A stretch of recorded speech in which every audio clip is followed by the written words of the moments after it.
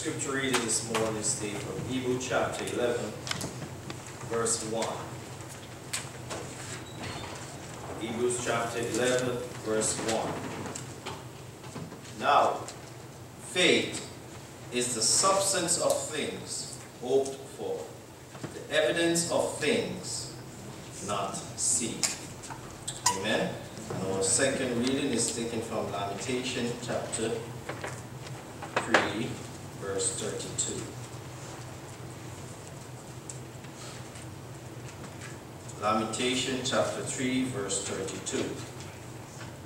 But though he cause grief, yet will he have compassion according to the multitude of his mercy.